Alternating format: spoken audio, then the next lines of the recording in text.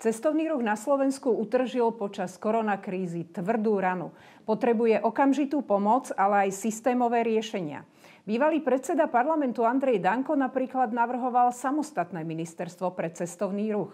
Terajší minister Andrej Doležal plánuje obnoviť agentúru pre cestovný ruch.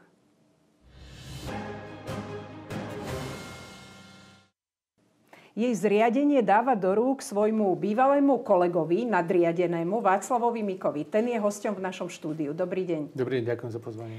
E, všetci o vás vedia, že ste manažovali hlavne médiá, ste tým známi, šefovali ste Rádiu Express, televízii Markíza, ale aj verejnoprávnej televízii. Andrej Doležal v istom období bol vašim podriadeným. Teraz idete na jeho ministerstvo budovať agentúru pre cestovný ruch ako jeho podriadený. E, ako vnímate túto výmenu úloh?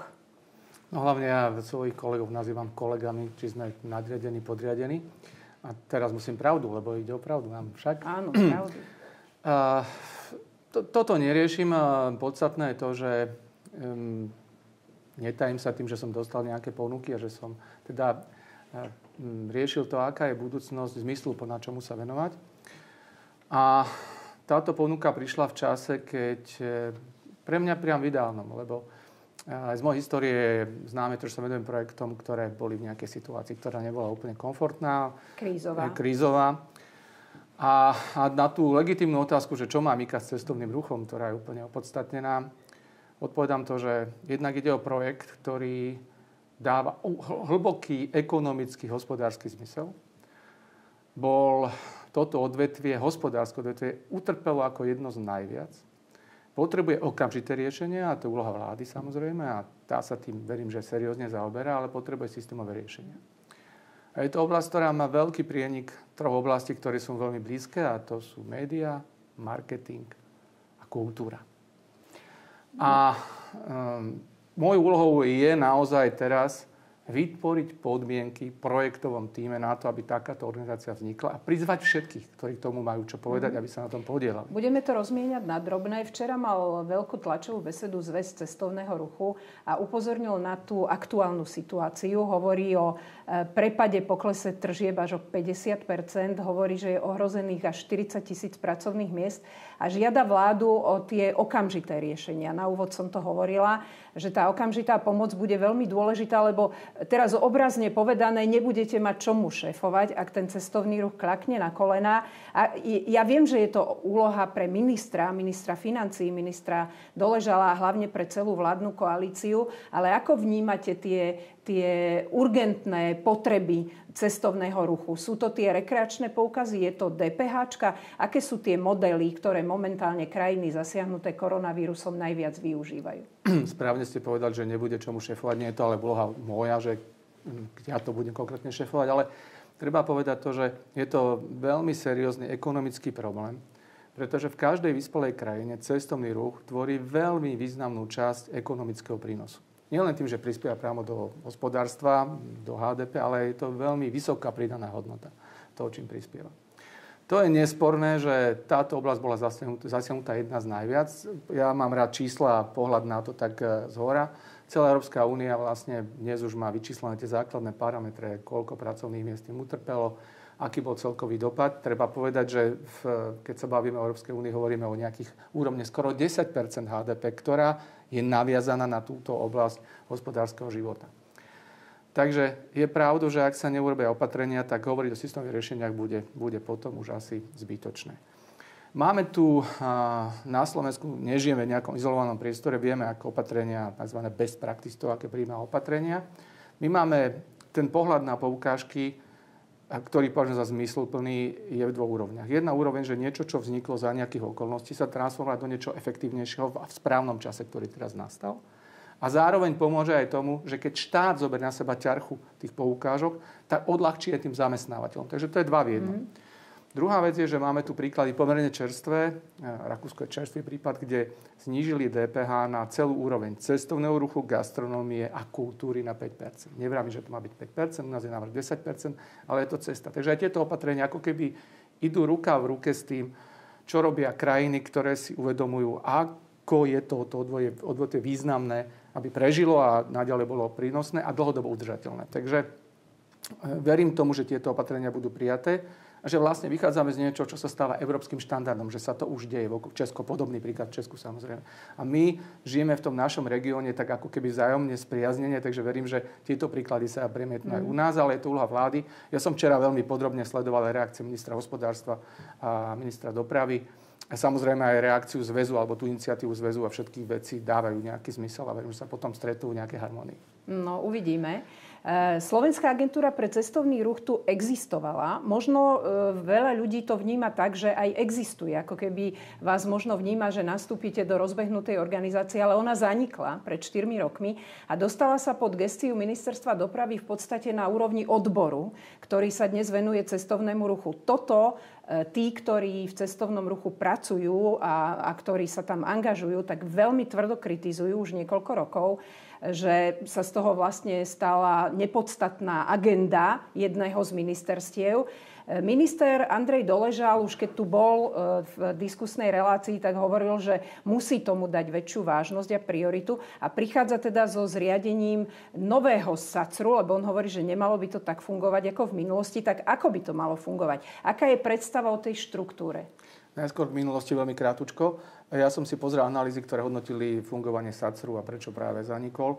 A boli ten dve úrovne. Jedna úroveň bolo, že či dobre robili svoju prácu, ale podstatnejšie, že nemali na to ani podmienky. To je výsledok analýz. Ak tie podmienky máme vytvoriť, treba urobiť tri veci paralelne vedľa seba.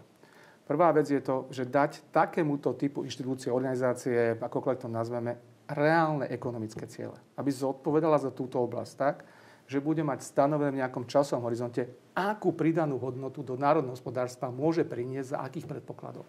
To znamená, že nemalo by to vzniknúť ako samoučelne na podporu niečo, ale niečo, čo zoberie na seba aj nejakú ekonomickú zodpovednosť a fungovanie celej oblasti, ktorá bude vychádzať samozrejme z nejakých analýz a bude podporená reálnymi cieľmi. Druhá oblasť, že dostane nejak, teda oblasť formálna, že dostane nejakú formálnu inštitucionálnu podobu, ktorá bude funkčná. V programe vyhlásení vlády je ako príklad uvedené eh, Österreich Verbung ako rakúsky model, je ich samozrejme viac takých, ktoré fungujú, kde sa hovorí aj kombinácii zdrojov financovania verejných aj súkromných. To je tiež téma, či to takto môže vzniknúť a či to bude takto funkčné, samozrejme aj v zdrojoch zo štruktúrálnych fondov. A tretia oblasť, ktorá je spoločensky, sociálne významná, to je oblasť toho, že je to podpora regionálnej kultúry, regionálnych rozvojov, menej rozvinutých regiónov, znevýhodnených skupín. To už je to politikum, ktoré vždy e, každá mm. zmysluplná vláda a, a management krajiny musí vnímať ako dôležité. Takže a vašou úlohou je vypracovať e, ten projekt, ako by to malo vyzerať? Kde sa uberajú teda tie vaše to, to nie len môj úlohu, je to úlohou, Bude to úlohou pracovnej skupiny a teda širokého týmu, do ktorých budú prizvaní aj odborníci a hlavne ľudia, ktorí zodpovedajú za toto oblasť, teda zväz samozrejme. Uh, najhoršie robiť niečo od stola bez toho, aby niekto vnímal uh, realitu toho, toho, tej časti hospodárstva, o ktorej teraz hovoríme a toho, čo je profesionálna oblasť. A teda výsledkom toho má byť v ideálnom stave, že budúci rok v tej letnej sezóne už budú nastavené pravidlá, za ktoré mala byť zodpovedná táto organizácia. Mm. Minister Doležal to hovoril, že do konca roka by to malo byť, len nie je to také jednoduché. Ak bude vznikať podľa nejakého zákona, ak chcete tú organizáciu takú, ako o nej hovoríte, aby mala zmysel, tak by mala prejsť nejakým legislatívnym procesom. Dá sa to stihnúť do konca roka? Ja som vždy ambiciozný, ja mám rád také nerešiteľné úlohy, takže nevravím, že to je možné, ale dáva to zmysel, ak by tento rok, ktorý je tým významne postihnutým, nahradil rok, ktorom už budú fungovať pravidlá, mm. ktoré môžu, môžu priniesť ten želaný efekt, že táto časť hospodárstva, ktorá je dlhodobo udržateľná, bude postupne nahradzať to, čo z hospodárstva bude odpadávať a to je časť priemyslu. Treba povedať, že keď sa na to pozrieme čisto ekonomicky cez čísla, čo je nevyhnutné urobiť, tak eh, ľudovo povedané 1 euro investované do cestovného ruchu prinesie 3, možno 4 eurá. Takže ten multiplikačný efekt je tam veľmi vysoký. Je násobný toho, čo je v priemysle. To nie je nejaká veľká novinka, ktorú som určite neobjavil ja. To znamená, že tie investície do tejto infraštruktúry sú vždy prínosné a dlhodobo môžu vytvárať, podporiť, podporiť domácu spotrebu a vytvárať sa samozrejme ekonomický Máte nejaký vzor v zahraničí takéto organizácie? Tých vzorov je veľa, ale treba si zobrať vzor, ktorý je mm, u nás realizovateľný. Ťažko by sme si brali vzor mm, priamo z Rakúska, ktoré samozrejme dlhodobo toto investovalo niekoľko desiatok rokov. Ťažko Chorvátsko, ktoré má unikátne podmienky z cestovného ruchu. Ja som sa s kolegami veľmi veľmi podrobne pozrel na analýzy a vieme, kde je na Slovensku, kde sú tie najväčšie problémy. A tie najväčšie problémy nie sú len v celkom počte turistov, ale v celkom počte prenocovaní. Teraz som to v podstate zjednodušil, mm-hmm. len poviem to, že keď sa pozriete, že kde je ten kameň úrazu, tak je v tom, že aby ten turista nie len sem prišiel, ale ten sem tu ostal dlhšie a vracal sa sem. A k tomu vedie niekoľko ciest, ale samozrejme to už je, to už je debata hlboko mm. o tej stratégii. Profesionáli z cestovného ruchu dlhé roky kritizujú aj to, že vždy túto oblasť zastrešoval niekto, kto nebol z branže. Neviem, či vždy, ale vo väčšine prípadov určite áno. Celkom logicky. Neobávate sa aj vy tejto kritiky, že predsa len nie ste z branže. Tu sú už ľudia, ktorí 20 rokov pracujú v cestovnom ruchu a už sa dajú teda nazvať naozaj veľkými profesionálmi. Ja som mal vždy rešpekt pred profesionálmi. Mojou úlohou teraz je dať do vedna tým, ktorom sú práve tí ľudia, ktorí sú z tej oblasti. A to hm, rozdelím na dve oblasti. Jedna vec je manažovať ten tým nejakom výsledku zdárnemu vytvoreniu projektu. Ak sa pozriem na svoju osobnú históriu, tak väčšina projektov, ktoré som spolu vytváral, dodnes fungujú.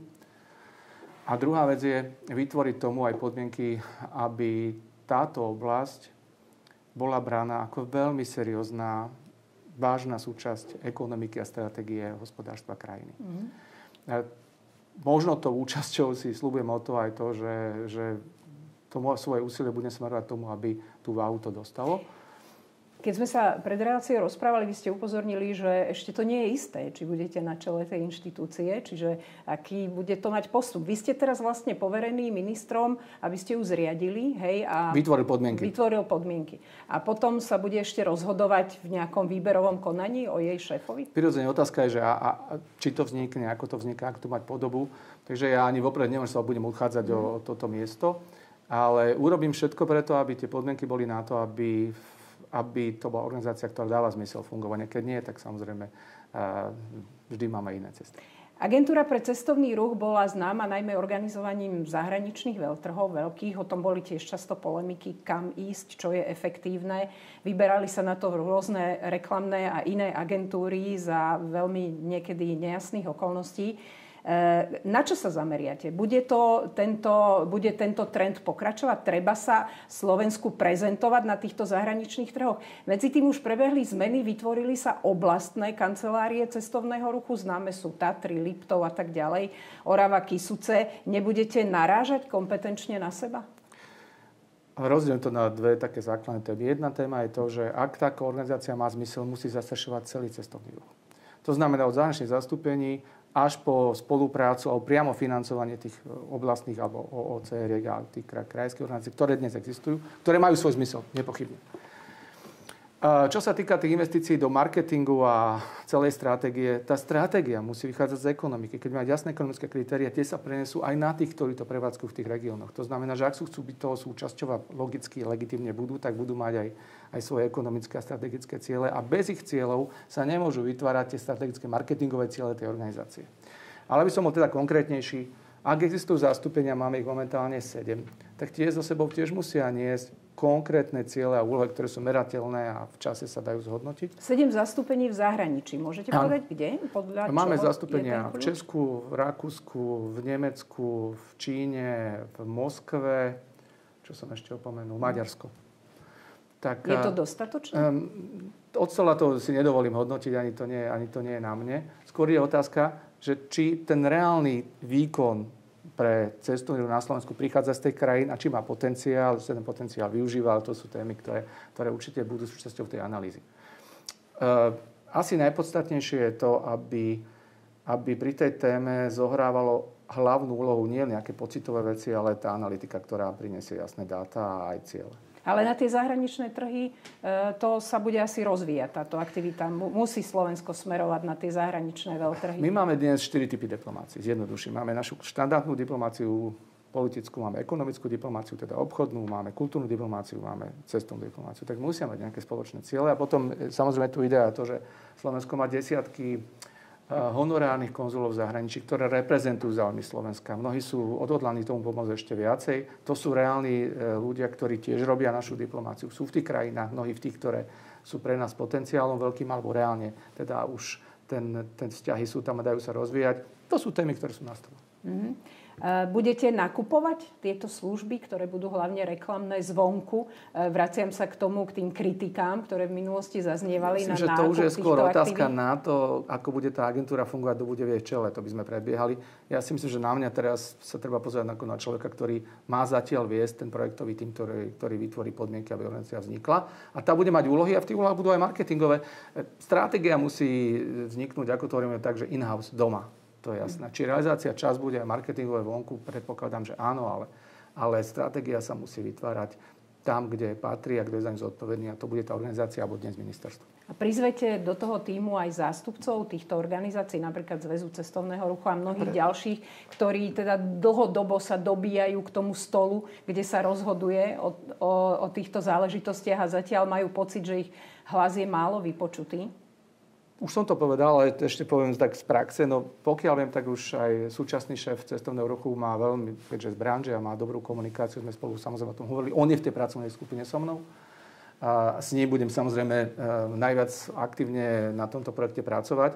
Tak už po tom krátkom čase, ako, ako je v pozícii, tak viem, že už tá komunikácia funguje. A tá sa naopak teraz, potom ako začne pracovať pracovná skupina, dostane do reálneho nejakého módu spolupráce.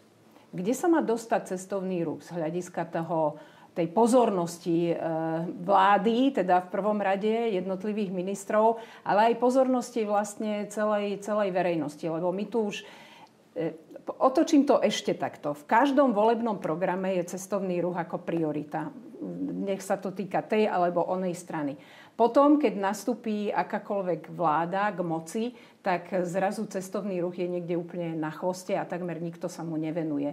Kde ho treba dostať v rámci tých, tých priorit vlády? Ja, ja skúsim použiť také zjednodušenie. Ak uh, nájdeme súvislosť a v praxi sa ukáže, že 1% zvýšenia príjmov cestovného ruchu sa volá, sa volá v praxi na konci prínos 1 miliardy, tak už hovoríme o ekonomickej kategórii a je to veľká zmena v tom, ako na to pozeráme.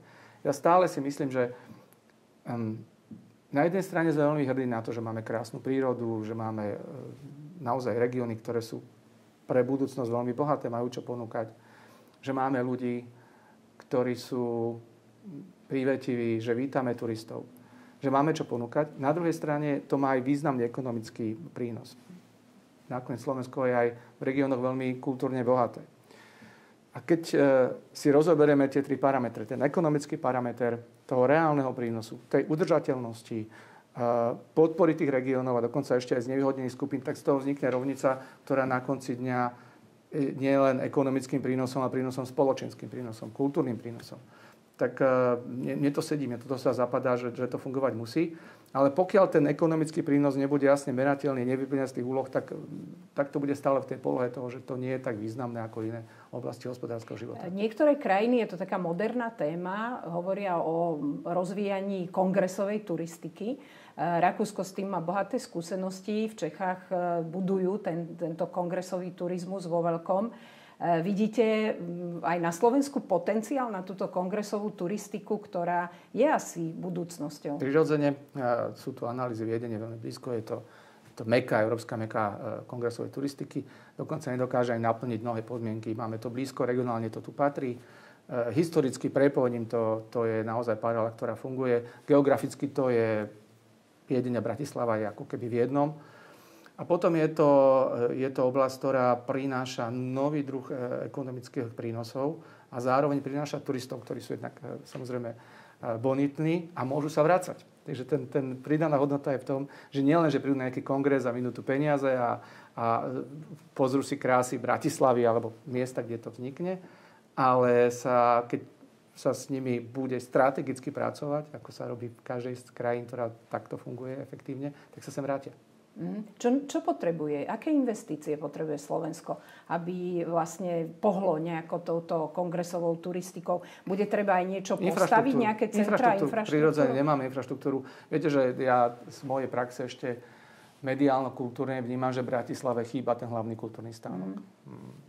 To prepojenie s kultúrou a kongresovou turistikou samozrejme nájdeme, ale to by som predbiehal. Ale, ale prirodzene Slovensko a Bratislava potrebuje centrum, ktoré bude prirodzene zastrešovať túto oblasť. Ne, nebude to ale zasiahnuté strachom z pandémie, koronakrízy. E, po, veľa odborníkov hovorí, že sa budú prehodnocovať tieto aktivity. Veľa e, všelijakých stretnutí, eventov sa bude robiť už online a ľudia budú oveľa menej cestovať. Zatiaľ to tak nevyzerá. Hneď po uvoľnení opatrení sa vo veľkom cestuje, ale môže táto otázka zohrávať úlohu v najbližších rokoch, mesiacoch pri akomkoľvek rozvoji cestovného ruchu? Dovolte mi byť optimista. Máme tu pridanú hodnotu, ktorá tu doposiaľ nebola. Slovensko je bezpečná krajina. To je nový parameter, ktorý predpokladám, že v cestovaní, v cestovnom ruchu bude ako jeden z dôležitých parametrov. Takže nielen krajina, ktorá má čo ponúknuť, ale aj krajina, ktorá je zodpovedná a bezpečná. Máme tu novú pridanú hodnotu. Dovolte mi byť optimista. Ja v tomto som optimista.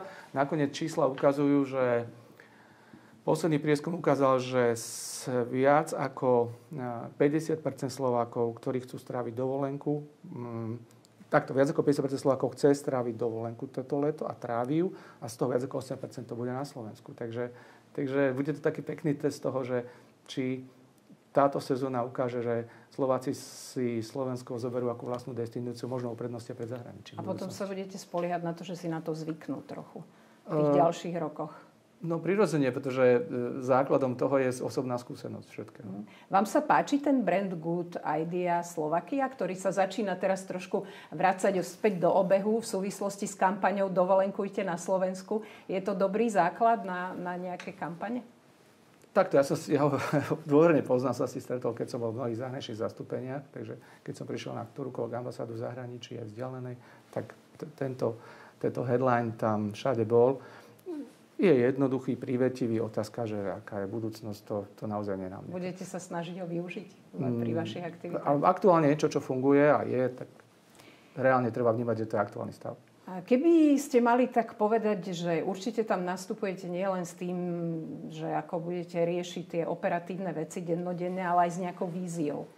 Keď ideme do Paríža, tak sa odfotíme všetci pri Eiffelovke ja neviem, v Čechách na Karlovom moste, niečo, čo si ľudia okamžite spoja s tou krajinou, alebo s tým hlavným mestom, alebo s lokalitou, do ktorej prichádzajú. Máme takéto e, nejaké veľmi priame atrakcie na Slovensku, na ktoré sa dajú lákať turisti. Čo je vaša vízia? Ako, ako prilákať veľmi jednoducho turistov na Slovensko? Už sme mali taký brainstorming na túto tému. Takže e, prvom rade treba, zajdem troška do minulosti, je v tom, že Veľmi ma mrzelo a všetci sme s tým bojovali, že Slovensko bola neznáma krajina, že odkiaľ si zo Slovenska a tak ďalej. To prvom vedieť, že, že Slovensko existuje v srdci Európy a že je niečím výnimočné. Vieme, že výnimočné určite tým, že máme krásnu prírodu a že máme pamiatky, ktoré sú chránené UNESCO, že sme kultúrnou krajinou a s kultúrnymi ľuďmi. Z tohto vytvoriť nejakú esenciu, ale samozrejme nie na mne kreovať teda to hlavné posolstvo, ale vytvoriť je veľmi dôležité. Ale určite v sebe bude toto obsahovať, pretože jednoducho ignorovať to, že máme prírodné krásy výnimočné od jaskyn cez prírodu, národné parky, e, kultúrne pamiatky chránené a tak ďalej, to všetko vytvára nejakú esenciu toho, že máme čo ponúkať. A potom samozrejme aj tá moderná pridaná hodnota fungujúcej infraštruktúry, ktorá už dnes sa prirodzene očakáva. Mm. Mm, poznať Slovensko a navštíviť ho, to je základná ambícia. Ďakujem pekne, Václav Mika. Eh, bol našim hostom v štúdiu. Rozprávali sme sa o jeho plánoch pri eh, výstavbe a zriadení novej agentúry pre cestovný ruch, tak eh, sa asi stretneme už, keď to bude fungujúca inštitúcia, ak teda budete v jej čele. Dovidenia, ďakujem vám pekne za rozhovor. Ďakujem za pozvanie, verte mi teda, že ako optimistovi, že, to, že to urobím všetko. Ďakujem pekne aj vám za pozornosť. Sledujte, ide opravdu, prinesieme ďalšie zaujímavé diskusie.